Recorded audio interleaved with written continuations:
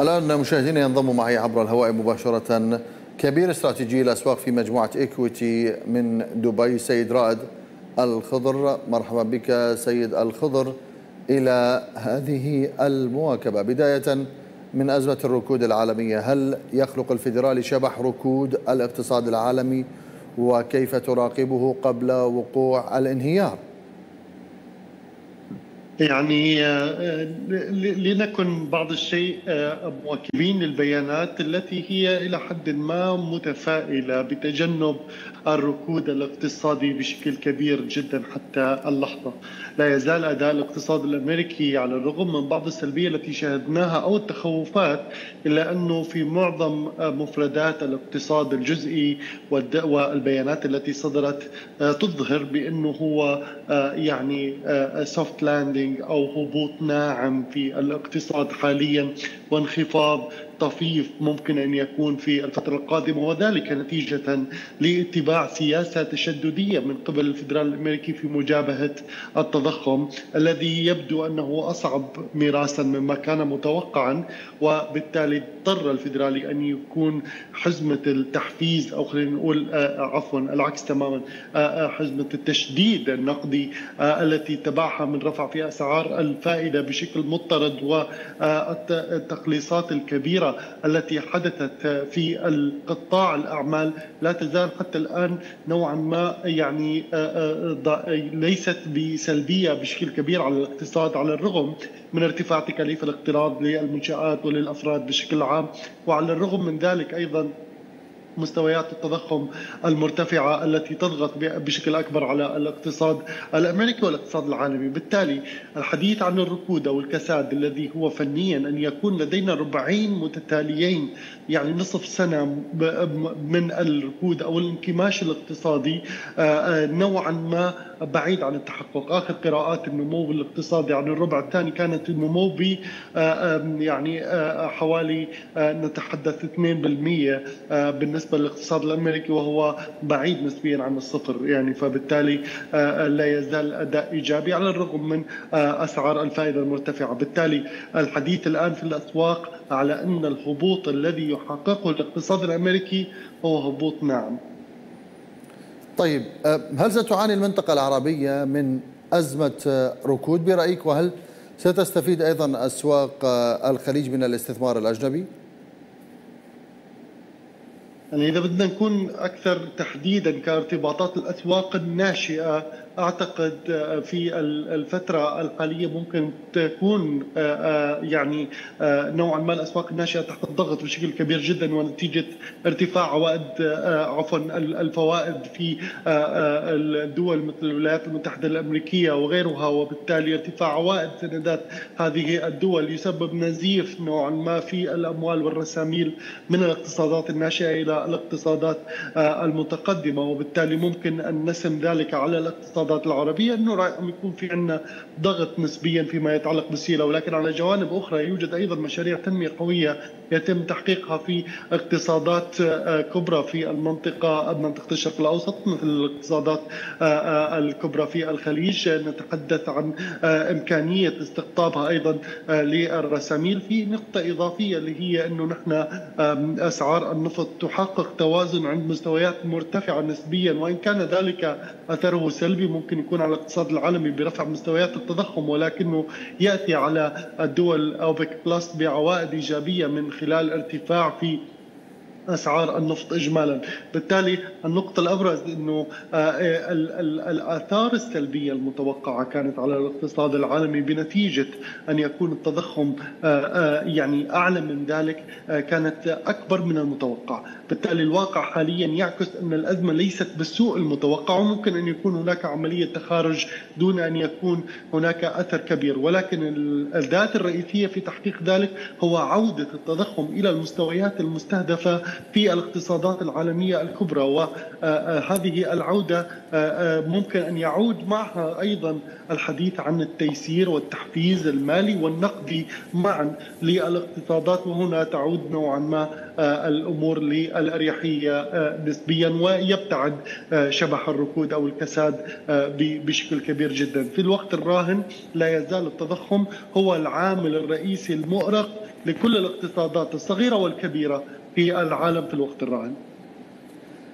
في سوق الطاقة مع خفض الإنتاج النفطي النفط قفز 90 دولار البرنت. أيضا مع قرارات مع قرارات السعودية وروسيا بتمديد خفض الإنتاج. يعني كيف هذا كيف سيتأثر الاقتصاد العالمي بذلك؟ يعني كانت خطوة متوقعة أن يكون هناك اعتماد لتقليصات طوعية لفترة ممتدة قد تمتد حتى نهاية تعاملات هذا العام ليس بجديد هذا على السوق وإنما التصريح يعني نوعا ما كان في الوقت الذي تفاعلت معه الأسواق بشكل سريع جدا وأيضا كان يعني تأكيد للتوقعات الموجودة في السوق. وبالتالي شفنا أو شاهدنا برنت أو يرتفع إلى فوق مستويات 90 دولار البرميل. ومن المتوقع أن يواصل هذه الارتفاعات حقيقه إلى مستويات 97 إلى 98 باستهداف مستويات 100 دولار للبرميل. وذلك لبحث اوبك بلس عن دعم حقيقي لأسعار النفط لتبقى مرتفعة خصوصا بعد البيانات المخيبة للآمال من ثاني أكبر اقتصاد في العالم وأكبر مستورد للنفط وهو الاقتصاد الصيني الذي أظهر أنه ممكن يكون الطلب تحت ضغط في الفترة المستقبلية لذلك تحركت أوبك بلس السعودية وروسيا لمحاولة تحقيق توازن للأسعار في مستويات أعلى من ذلك لمجابهة أي ضعف متوقع في الطلب وهو قد يحدث بشكل حقيقي لأنه شفنا البيانات الاقتصاد الصيني، الاقتصاد الأوروبي، الألماني، الصادرات والواردات كلاهما في تراجع، كذلك أيضا البيانات التي صدرت من الصين بما يتعلق بمؤشرات مديري المشتريات وطلبات المصانع جميعها أيضا أقل من التوقعات وهذا نكتشف منه أنه راح يكون الطلب المستقبلي نسبيا يعني أقل من المتوقع. ولكن أيضا عندي على الجانب الآخر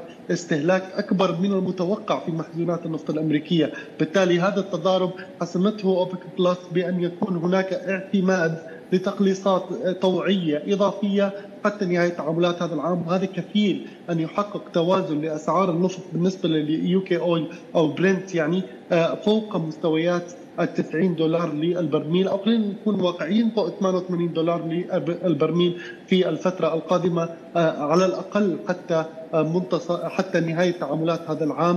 وهذه هي المستويات التي يستهدفها خلينا نقول يستهدفها أوبك بلس في الفترة القادمة. خصوصا إذا جاء أي تحفيز أو تحسن في الطلب من الاقتصاد الصيني أو الاقتصادات العظمى ممكن جدا أن يحقق ارتفاعات نحو 100 دولار للبرميل خلال فترة قصيرة. طيب تأمين النفط يعني تأمين الإمدادات كيف سيكون في الأسواق العالمية بالنسبة للأسواق العالمية؟ أعتقد الحفاظ على استراتيجية الحفاظ على الحصة السوقية سوف تبقى بشكل كبير جدا يعني حيز التطبيق والتنفيذ بالنسبة لاوبك بلس وغيرها. سوف يكون هناك التزام بتحقيق الوفورات اللازمة للشركاء التجاريين في الفترة القادمة وللطالبين الدائمين خلينا نقول للنفط في الفترة القادمة. وبالتالي يمكن تعويض يعني من ضمن اوبك بلس يمكن حتى تعويض أي نقص طوعي أو تخفيض طوعي في حال إذا ما ارتفع الطلب والتصريحات كانت واضحة إنه التقليص الطوعي الالتزام فيه هو بنتيجة توقعات بتراجع الطلب، بالتالي مع عودة الطلب للارتفاع أعتقد وفرات المعروض النفطي النفطي موجودة ويمكن أن تواكب أي يعني طلب زائد. في عن المتوقع في الفترة القادمة. بالتالي أعتقد هذا ما يريدونه فعليا. لا, لا ترغب أي دولة منتجة بأنه تقلص الإنتاج إلا لتحقيق توازن في السعر وفي خلينا نقول في أسعار النفط. أما إذا عاد الطلب للارتفاع فأعتقد هذه التوعية التخفيضات التوعية ممكن حتى أن تنالها تعديلات ولكن أعتقد الأعضاء الآخرين داخل أوبك بلس ممكن أن يعوضوا أي طلب مستقبلي مرتفع نسبيا. طيب إذا أردنا أن نتحدث عن الذهب كيف يعني وضع هذا المعدن الملاذ الآمن الذي يعتبر ملاذ آمن؟ الآن وربما حتى في المستقبل الضغوط ضغوط الدولار الأمريكي هل ستنجح بالإطاحة بالذهب؟ أم الذهب باق ملاذ آمن حتى وإن تعرض إلى يعني الاكتظاظ خلينا نقول في الفترة الحالية المحرك الرئيسي للأسواق فيما يتعلق بالتوجه نحو الذهب هو الفيدرال الأمريكي ونواياه في الفترة القادمة بما يتعلق بأسعار الفائدة. حتى الآن الاحتمالية جدا كبيرة بأن يبقي الفدرال الأمريكي على أسعار الفائدة دون تغيير في اجتماعه القادم في 19 و20 سبتمبر الجاري. وبالتالي آه هذا يضعنا أمام احتمالية أن يكون هناك توقف كلي لعملية تشديد السياسة النقدية وانتهاء دورة التشديد النقدي من الفدرال الأمريكي. بالتالي الأسواق دائما تحاول أن تسعر الأحداث قبل حدوثها ومسبقا، بالتالي سوف يبدأ تسعير إمكانية توقف الفدرالي عن رفع أسعار الفائدة وبالتالي يمكن حتى توقعات ببدء تقليص أسعار الفائدة مع منتصف العام القادم. وهنا يبدأ السوق أن يسعر ذلك من خلال انخفاض في قيمة الدولار الأمريكي لأنه نتوقع أنه يكون في عندنا سياسة نقدية أسهل، أسعار فائدة ربما مستقبلها أن يكون أقل. أقل وبالتالي ممكن يكون في عندنا انخفاض على في قوة الدولار الأمريكي وارتفاع في قيم السلع على رأسها الذهب في الفترة القادمة، في نفس الوقت أيضا يجب أن ننظر إلى أنه سوف يستفيد عنا أسواق الأسهم من أي توقف في تجديد السياسة النقدية، بالتالي الأموال ممكن أن تتجه إلى أسواق الأسهم كذلك الأمر.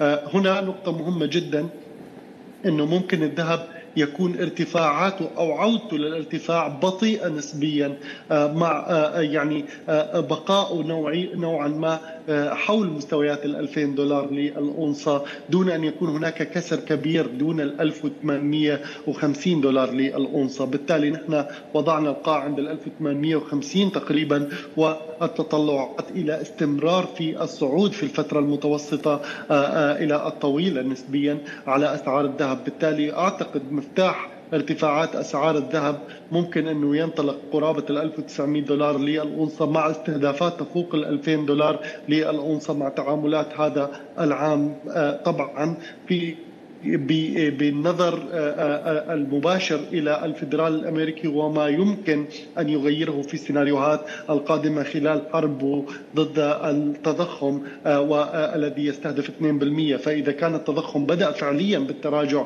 دون 3% أعتقد المعركة حسمت أن الفدرالي سيبقي أسعار الفائدة دون أي تغييرات وهذا سوف يعطي ضغطة كبيرة للدولار الأمريكي بالاتجاه الهابط وربما يحفز ارتفاعات أسعار الذهب على هذا الأساس. طيب بالنسبة للعملات يعني كيف ترى مستقبل الدولار واليورو وماذا عن حتى العملات الآسيوية؟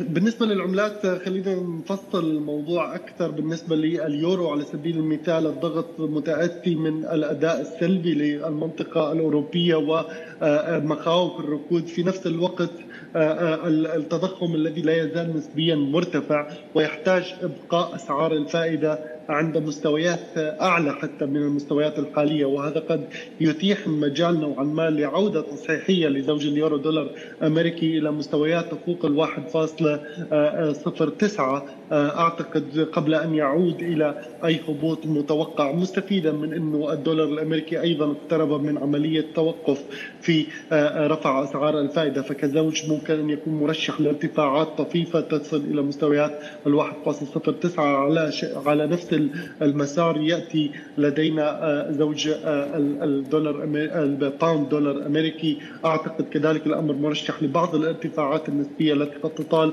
مستويات ال 1.2750 إلى 1.28 ولكن بالنظر إلى الين الياباني على وجه التحديد فأعتقد سيناريو الارتفاع على دولار أمريكي ين ياباني بدأ يظهر ضعف كبير في هذا آه، المنتج وممكن أن يكون مرشح لمزيد من التراجعات حتى نهاية تعاملات هذا العام.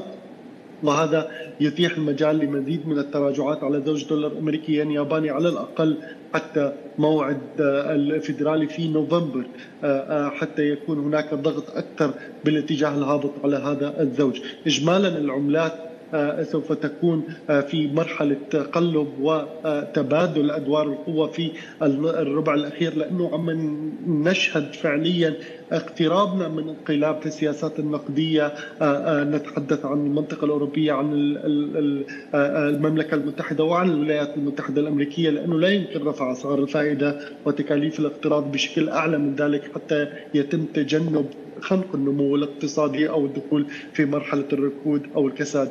اقتصادات أخرى بآسيا نحن نتحدث عن الاقتصاد الأسترالي مؤخرا شاهدنا أنه توقف عن رفع أسعار الفائدة آه، للمرة الثالثة الإبقاء على أسعار الفائدة دون تغيير وهذا ما ينم حقيقة عن انتهاء موجة تشديد السياسة النقدية. وربما ارتفع أمام الدولار الأمريكي أمام الدولار الأسترالي ولكن العملية محدودة أيضا. سيلحق بالركب الفيدرالي الأمريكي ويتوقف عن تشديد السياسة النقدية في وقت قريب.